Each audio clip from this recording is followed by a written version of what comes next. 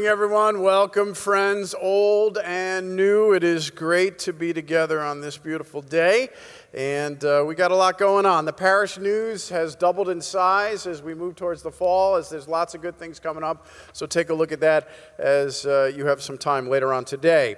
And uh, the connection card is your ticket to anything you need from me, the church office. If you have somebody you want added to the prayer list or the prayer chain, or if you're visiting with us and would like to be added to our mailing list, Please fill out the connection card with the appropriate information, and you can place it in the offering plate later on in our service when the offerings are received. There's also a green envelope today in the parish news. Our uh, 50th anniversary focus today during our Matters of Importance talks about a ministry that is an important part of our community, iDignity. And uh, so we'll get an update on them, and the envelope is if uh, you want to support that work and that ministry, it's near and dear to your heart, use that green envelope for iDignity uh, after you see the update later on in our service today. We are having our treasure and tag sale at the end of the month, August 25th and 26th. Uh, starting on August 14th, you can start bringing your items to the parish hall for the treasure and tag sale. We are not taking clothes, though, no clothes for the treasure and tag sale. Our early childhood center Stepping Stones begins its new school year this week, and we pray God's blessings upon that. Uh, we had the school closed this past week to clean, to move classrooms, to give the teachers an opportunity to refresh. We had a, a beautiful uh, opening service with all of our staff here on Wednesday. And then on Friday, we had Meet the Teacher with the families, especially the new families of the school. So, looking forward to a new school year and praying for everyone who's going back to school this week. We're going to celebrate school and children in a couple of Sundays, as we'll have uh, the blessing of the backpacks at this service in two weeks. Uh, the Sanctuary Choir is looking for anyone who wants to lend their musical voices to the choir. Take a look at the details for that. Leisure time, you have a potluck dinner on Tuesday night at 5 o'clock in the parish hall. Council leaders, we have a meeting on Thursday night at 7 o'clock in the administration building. And next Sunday is our next 50th anniversary guest preacher. Pastor Ron Lee, who served two interims here during times of transition, will be our preacher next Sunday. Miss Connie is on vacation today, and uh, she is not here, but we still have music, and she did play the music. She just played it ahead of time. She pre recorded it. Uh, so she'll be back with us next week. All right, it is the 10th Sunday after the Pentecost. We're into the double digits. We hear during the gospel lesson today the miracle with the five loaves and the two fishes. We are also blessed today uh, to have a baptism at our service. Little Andreas Del Toro. There's a New York connection here for me with this. Uh, one of little Andreas's family members I used to work with on the Synod Council back in the Metro New York Synod uh, years ago. Maria Del Toro sitting in the back there. Welcome, welcome to the family. We rejoice with you today. So, let us take a moment of silent prayer, and then we're going to rise and join together in our opening song, All My Hope.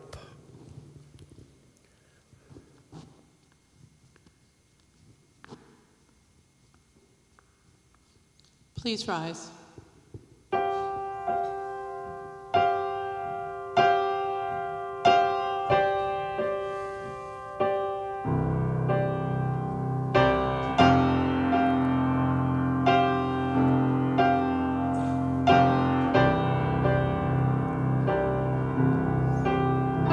Light in my dog.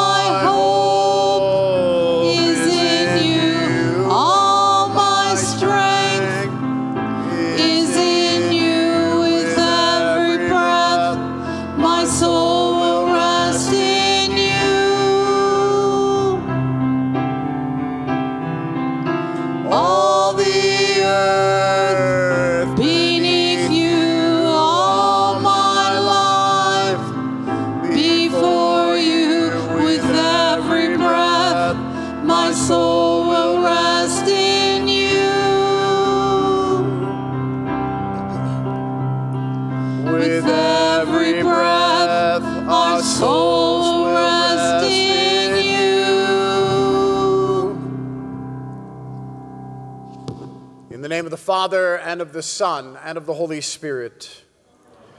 We admit, O Lord, that we often do not freely respond to your grace.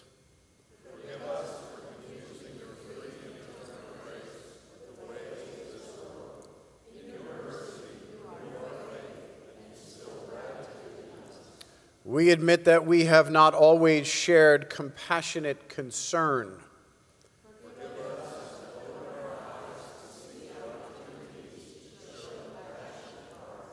We admit that we have not always considered the needs of others before our own, nor how you might use us and our gifts for their welfare.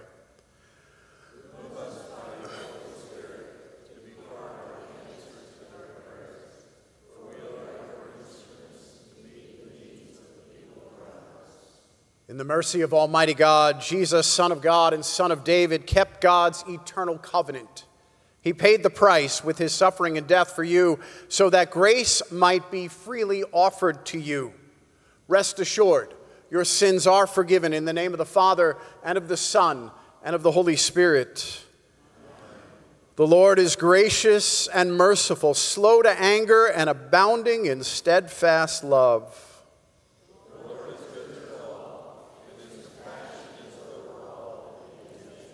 The Lord upholds all who are falling and raises up all who are bowed down.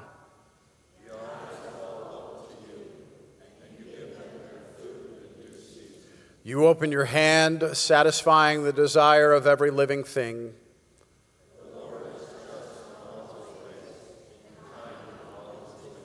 The Lord is near to all who call on him, to all who call on him in truth.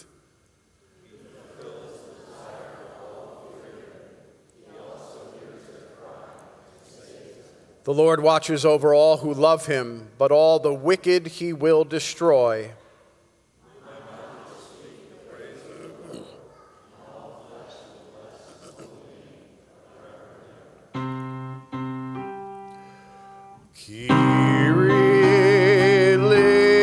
Christ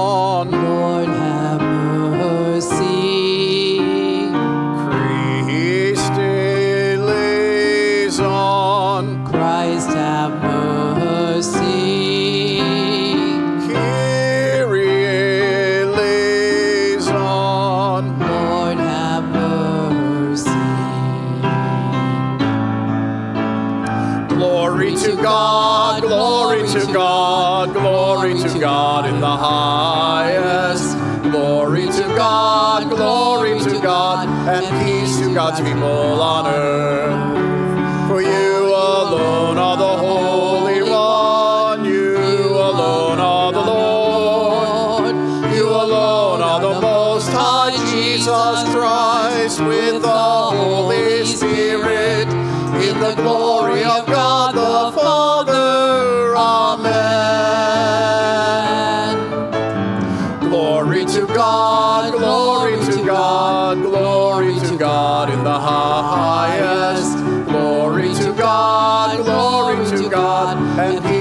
God's people on earth.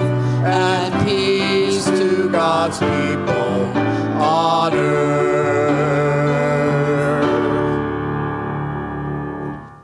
The Lord be with you. Let us pray. Glorious God, your generosity waters the world with goodness, and you cover creation with abundance. Awaken in us a hunger for the food that satisfies both body and spirit, and with this food, fill all the starving world. Through your Son, Jesus Christ, our Savior and Lord. Please be seated.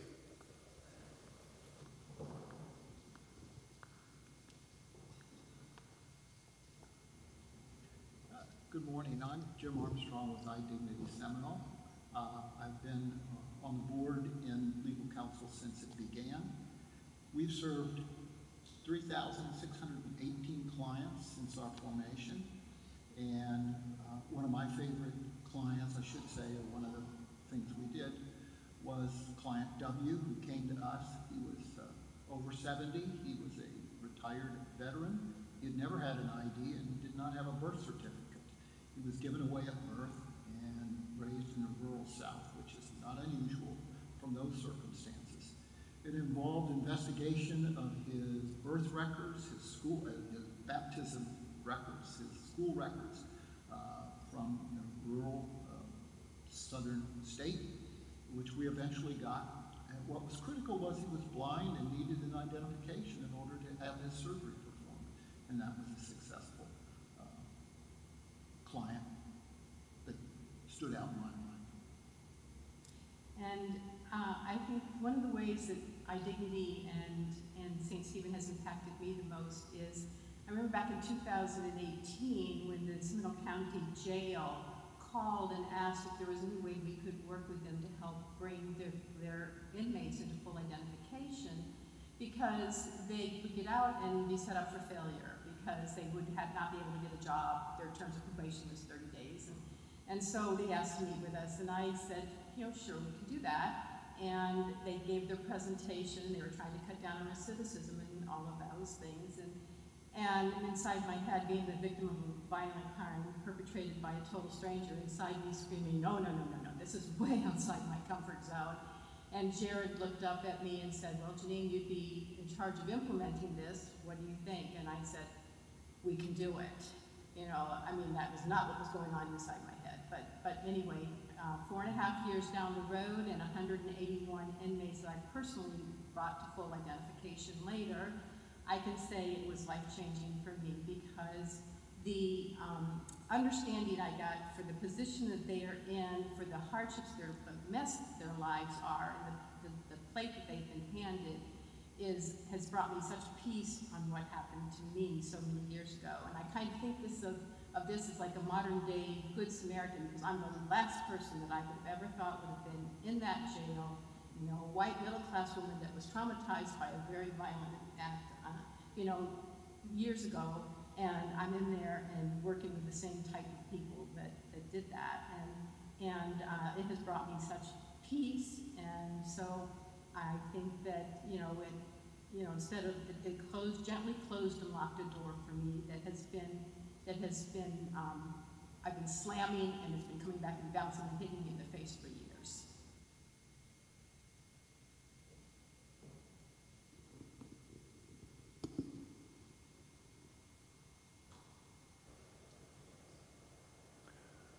The first reading is from Isaiah, the 55th chapter.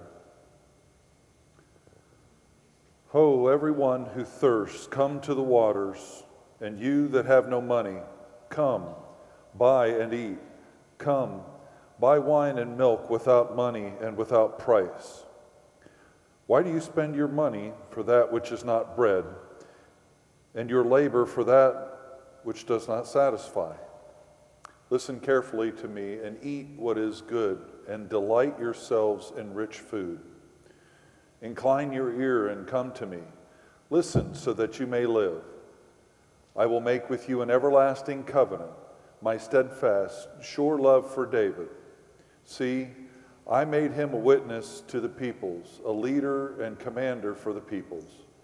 See, you shall call the nations that you do not know, and the nations that do not know you shall run to you because of the Lord your God the Holy One of Israel, for he has glorified you.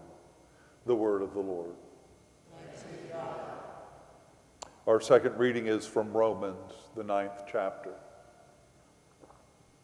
I am speaking the truth in Christ. I am not lying. My conscience confirms it by the Holy Spirit. I have great sorrow and unceasing anguish in my heart. For I could not wish that I myself were accursed and cut off from Christ for the sake of my own people, my kindred according to the flesh.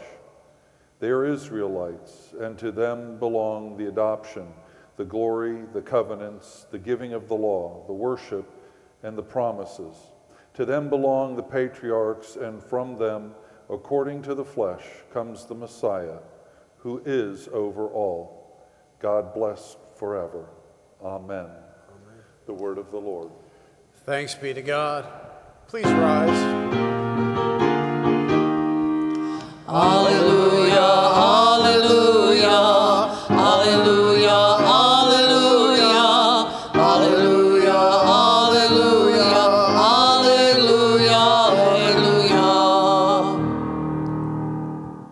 Holy Gospel according to St. Matthew, the 14th chapter. Glory to you, O Lord. Now, when Jesus heard about the beheading of John the Baptist, he withdrew from there in a boat to a deserted place by himself.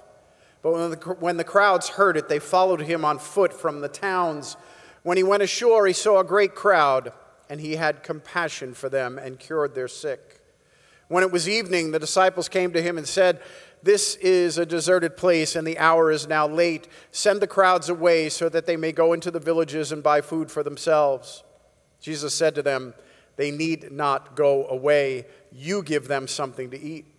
They replied, We have nothing here but five loaves and two fish. And he said, Bring them here to me. Then he ordered the crowds to sit down on the grass. Taking the five loaves and the two fish, he looked up to heaven and blessed and broke the loaves and gave them to the disciples, and the disciples gave them to the crowds. And all ate and were filled. And they took up what was left over of the broken pieces, 12 baskets full. And those who ate were about 5,000 men, besides women and children. The gospel of the Lord. Please be seated.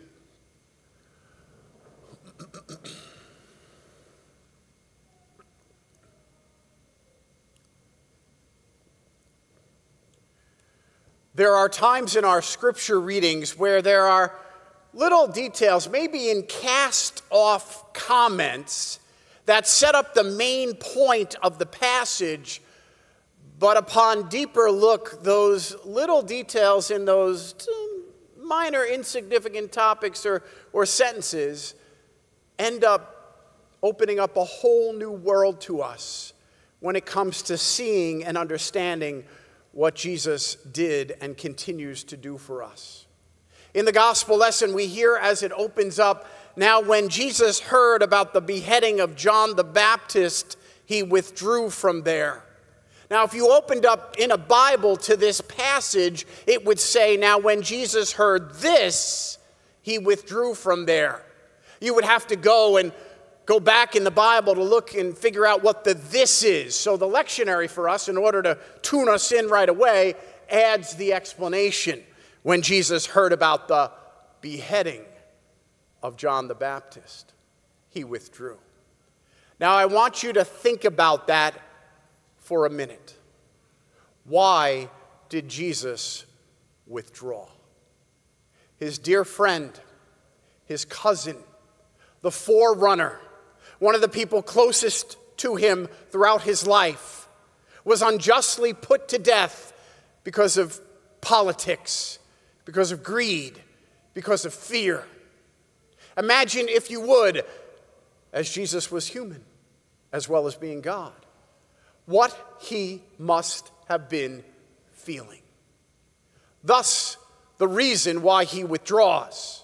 He goes off to be by himself, to mourn, to be angry, to wrestle with how wrong the situation was, and I'm quite sure he needed a good cry.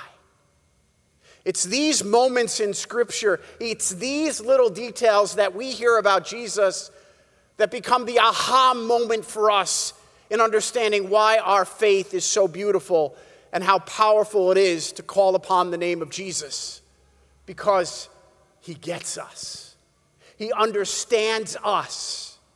How often have you found yourself in your life filled with sorrow and grief? You've wanted to do nothing but withdraw, move away from everyone and everything.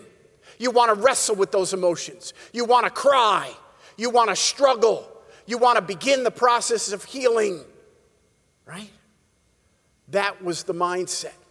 That was the backdrop for this incredible miracle of feeding the multitudes. Jesus was in pain and Jesus was mourning.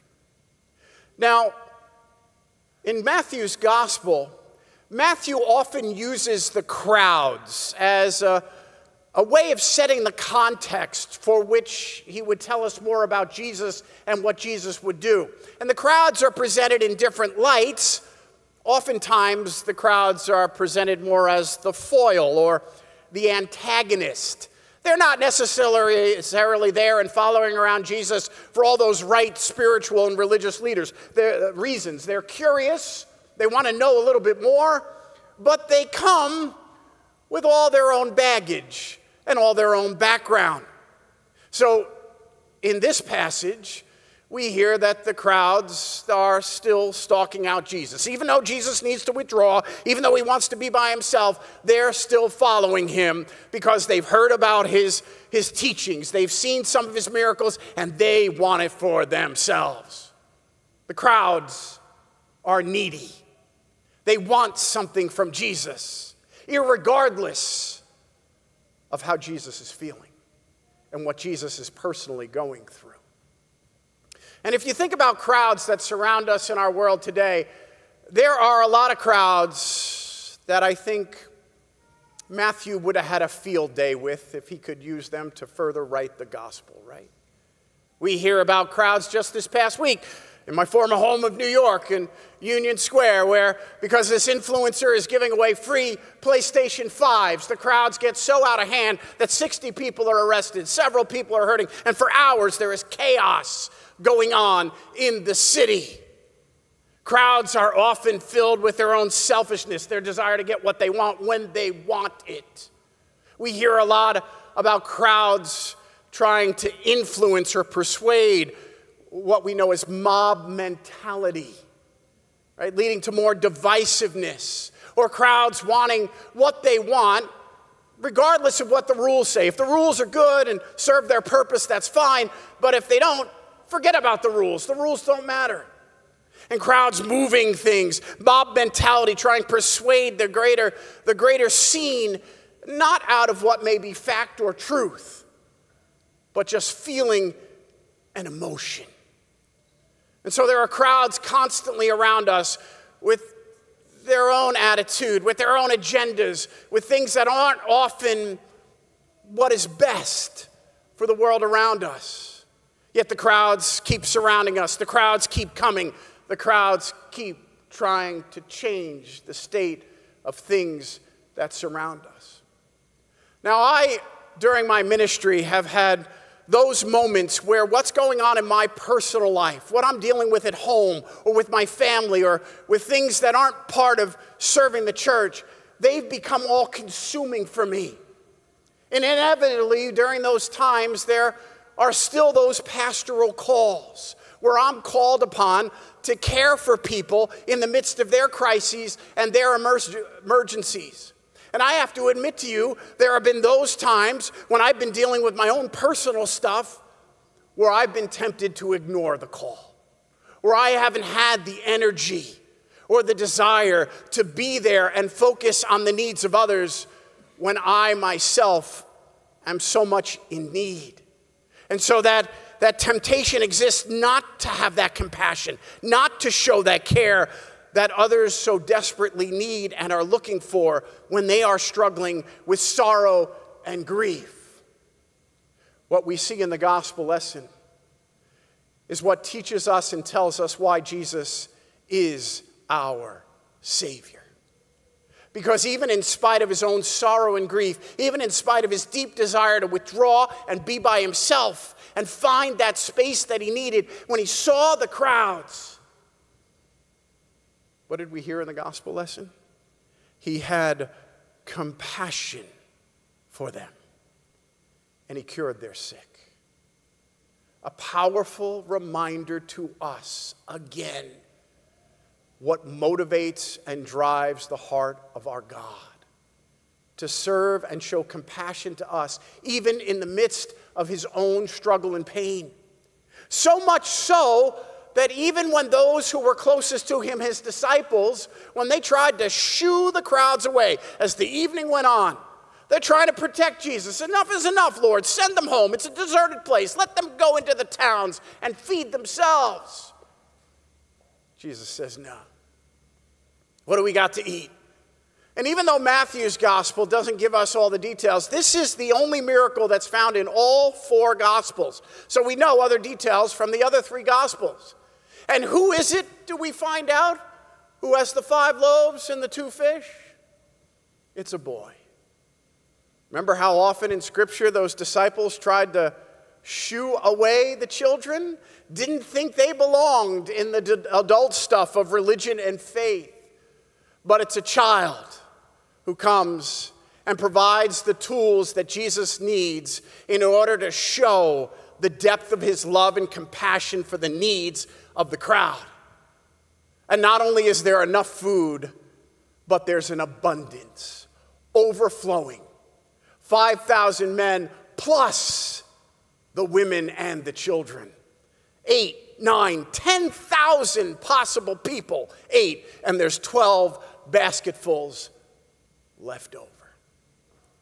And this message of compassion, this message that moves God to do something when we are struggling with sorrow and grief, is the message that we hear over and over again throughout the Bible. In our Old Testament lesson today, the prophet Isaiah begs of the, the reader, begs of all of us, come to the waters the waters that never end. Come to the food, the food that is eternal. In the midst of those times in our lives when we are struggling and maybe paralyzed and tempted to go off by ourselves in the midst of our pain, he says, Come to the waters of baptism where God meets us constantly. Come to the sacramental presence of Jesus, his body and blood, where we have a food that lasts eternally.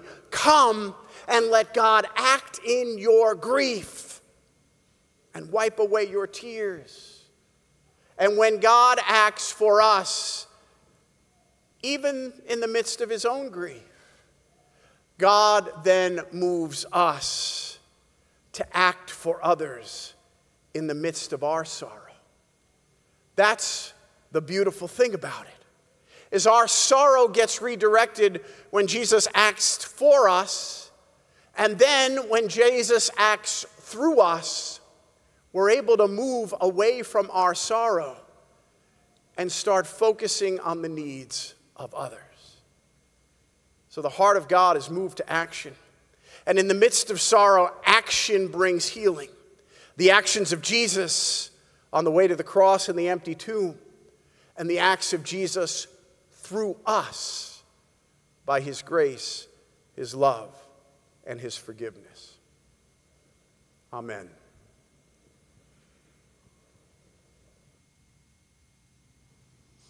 Please stand.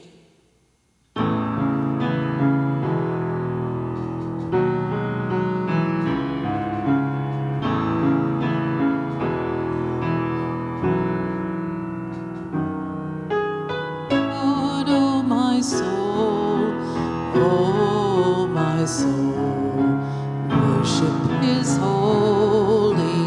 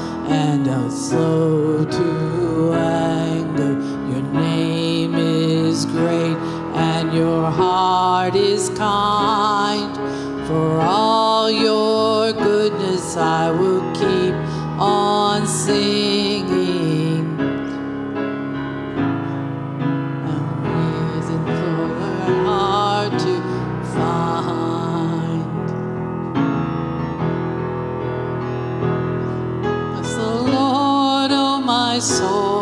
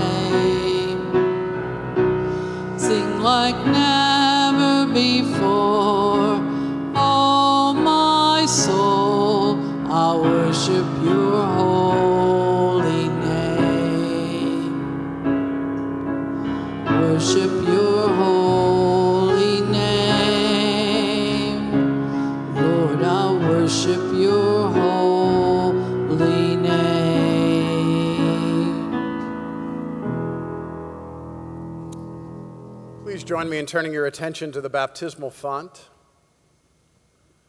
God, who is rich in mercy and love, gives us a new birth into a living hope through the sacrament of baptism. By water and the word, God delivers us from sin and death and raises us to new life in Jesus Christ. We are united with all the baptized in the one body of Christ, anointed with the gift of the Holy Spirit, and joined in God's mission for the life of the world. Hear the testimony of Holy Scriptures concerning baptism. Jesus says in Matthew 28 Go and make disciples of all nations, baptizing them in the name of the Father and of the Son and of the Holy Spirit. In Acts chapter 2, Peter says, Repent and be baptized, every one of you, in the name of Jesus Christ, so that your sins may be forgiven. And you will receive the gift of the Holy Spirit, for the promises for you, for your children, and for all who are far away and Jesus again in John chapter 3 says, Very truly I tell you, no one can enter the kingdom of God without being born of water and the Spirit. Who brings this child to be baptized? We do. And how is this child to be named? Andres Lautaro del Toro. Andreas Lautaro del Toro, receive the sign of the Holy Cross both upon your forehead and upon your heart to mark you as one redeemed by Christ the crucified. Through water and the Word, the Holy Spirit calls us to walk a new life in God. Nourished by the apostles' teaching and fellowship, the breaking of bread and the prayers, we are all called to strengthen and uplift the baptismal faith of everyone in our community. So, parents, sponsors, and fellow congregational members, I ask, will you commit yourselves to providing for Andreas's growth in the knowledge and the love of the Lord? Will you teach the Holy Scriptures, the Lord's Prayer, the Creed, and the Ten Commandments? Do you intend to act in this way for all children and for the sake of Jesus and our life together? If so, answer, we do with the help of God. Therefore, I ask you all, as the family of faith that we call St. Stephen, to profess, profess your faith in Christ Jesus, reject sin, and confess the faith of the church. Do you renounce the devil and all the forces that defy God, and the powers of this world that rebel against God, and the ways of sin that draw you from God? If so, answer, I renounce them. Do you believe in God the Father, creator of heaven and earth? If so, answer, I do. Do you believe in Jesus Christ, God's only Son, our Lord? who was conceived by the Holy Spirit, born of the Virgin Mary, suffered under Pontius Pilate, was crucified, died, and was buried. He descended to the dead. On the third day, he rose again. He ascended into heaven. He is seated at the right hand of the Father, and he will come to judge the living and the dead. If so, answer, I do. Do you believe in God, the Holy Spirit, the Holy Catholic Church, the communion of saints, the forgiveness of sins, the resurrection of the body, and the life everlasting? If so, answer, I do. The Lord be with you. Let us give thanks unto the Lord our God. We give you thanks, O God, for in the beginning your Spirit moved over the waters, and by the word you created the world, calling forth life in which you took delight. Through the waters of the flood, you delivered Noah and his family, and through the sea, you led your people Israel from slavery into freedom. At the river, your son was baptized by John and anointed with the Holy Spirit. By the baptism of Jesus' death and resurrection, you set us free from the power of sin and death and raise us up to live in you. Pour out your Holy Spirit, the power of your living word, that those who are washed in the waters of baptism may be given new life. To you be given praise and honor through Jesus Christ in the unity of the Holy Spirit, now and forever. Amen. Okay. He's uh, a little squirmer right now. You have one of the coolest names for a baptism. All right. Andreas Lautaro del Toro. I baptize you in the name of the Father and in the name of the Son. I know. And in the name of the Holy Spirit. Amen. Great job. Great job. I'll, I'll wipe it off. Okay, I'm sorry. Okay. Let us pray. We give you thanks, O God, that through water and the Holy Spirit you give your daughters and sons new birth, cleanse them from sin, and raise them to eternal life. Sustain Andreas with the gift of your Holy Spirit the spirit of wisdom and understanding, the spirit of counsel and might, the spirit of knowledge and fear of the Lord, the spirit of joy in your presence both now and forever.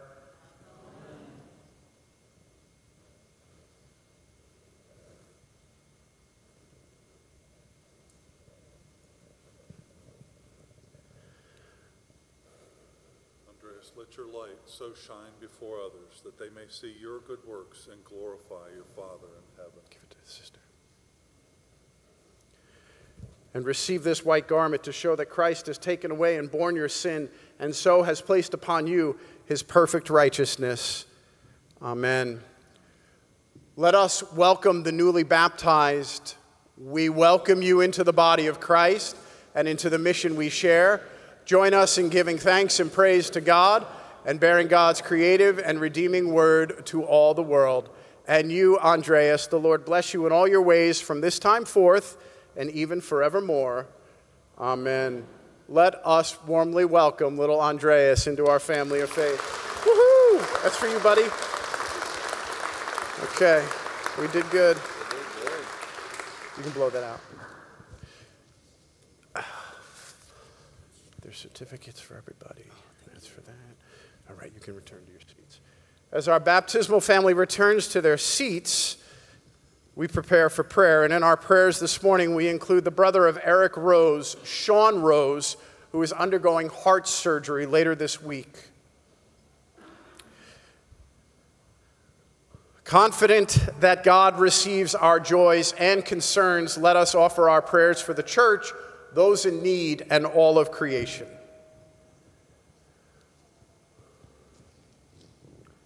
You gather your church together by the Holy Spirit.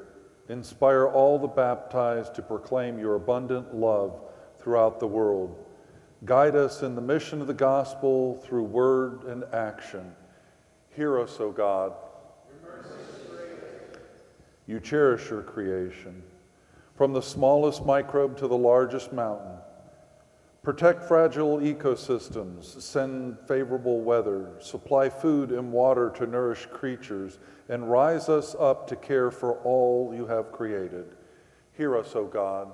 Your mercy is great. You desire peace and justice in the world. Instill within all political leaders your desire support the work of international peace organizations, and provide relief for those in war torn areas. Hear us, O God.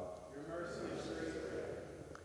You comfort those who are hurting, accompany those who are alone, heal those who are sick, provide for all who hunger or thirst, console the bereaved, bring joy to the sorrowful, and attend all who care who call on you, especially those we name at this time.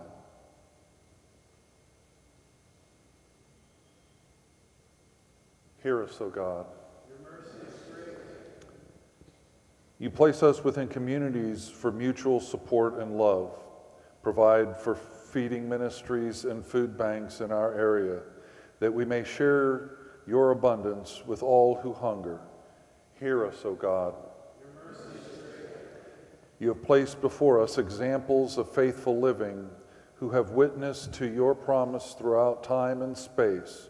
Rouse us by their lives of service and dedication to be your hands and feet in the world. Hear us, O God. Your mercy is great. Into your hands, O God, we commend all for whom we pray. In the name of the one who reconciled all creation to himself, Jesus Christ, our Savior. Amen. Please be seated as we have the opportunity now to give back that which God has given to us by receiving the offerings.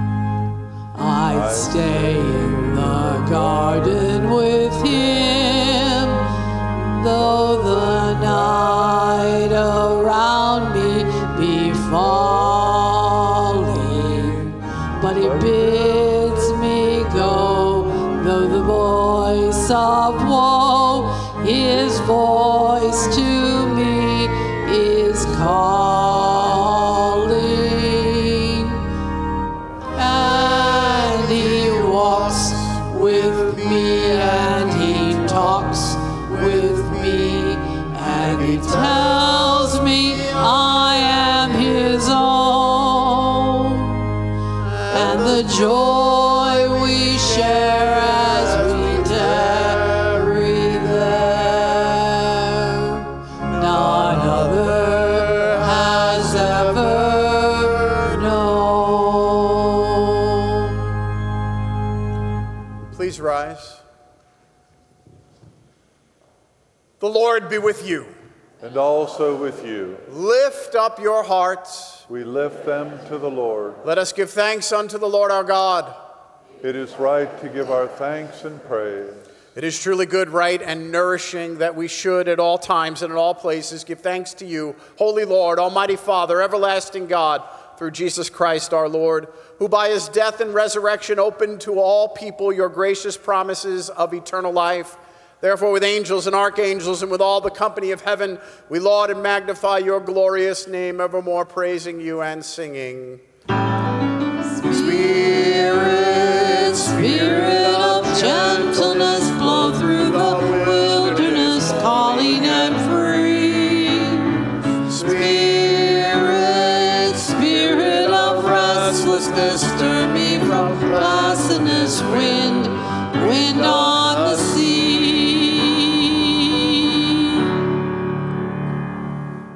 Blessed are you, Lord of heaven and earth, for the boundless mercy and grace you have shown in sending your Son to bear our sins and be our Savior. Gathered in his name, we pray that you would strengthen us to rely not on our own strength, but on your love and forgiveness. Strengthen and guide us to invite others to your grace in the way we think, speak, and act.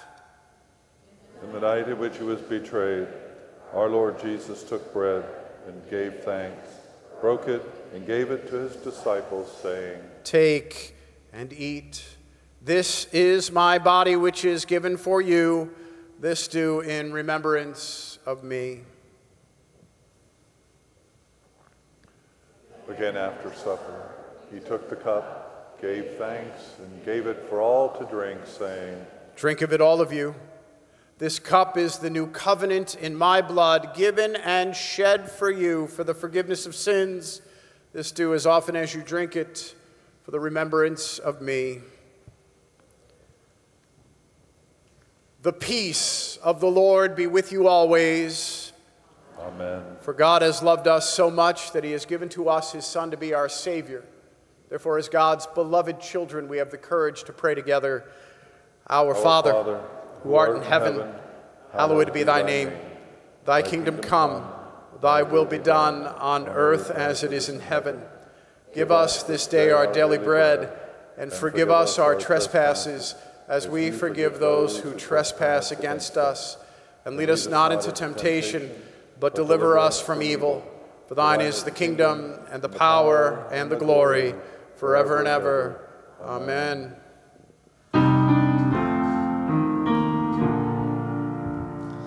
Lamb of God, you take away the sin of the world.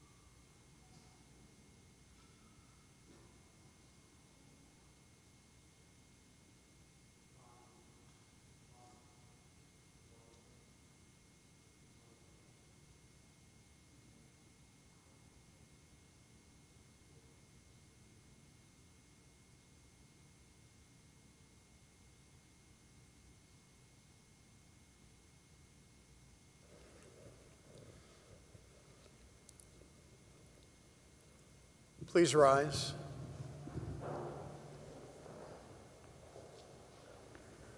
The body and blood of our Lord Jesus Christ strengthen you and keep you in his grace. Depart in peace. Amen. Let us pray. Lord Jesus, we thank and praise you that you have again refreshed us with the gift of your holy body and blood in this sacrament. Continually strengthen our faith that we may depart from your presence with peace and joy and the knowledge that we are reconciled to the Father. For you live and reign with the Father and the Holy Spirit, one God, now and forever. Amen. The Lord bless you and keep you. The Lord's face shine upon you and be gracious unto you, and the Lord look upon you with favor and give you peace. Amen.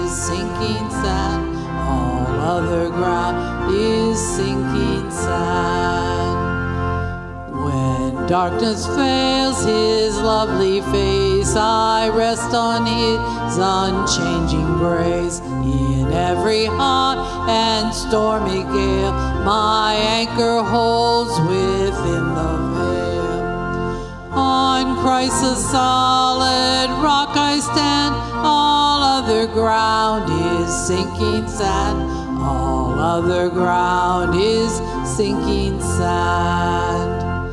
His oath, his covenant, his blood sustain me in the raging flood. When all supports are washed away, he then is all my hope and stay. On Christ the solid rock I stand, all other ground is sinking sand. Other ground is sinking sand. When he shall come with trumpet sound, oh, may I then in him be found, clothed in his righteousness alone, redeemed to stand before the throne. On Christ's solid rock I stand, all other ground is sinking sand. All other ground is sinking sand. Go in peace, share the harvest.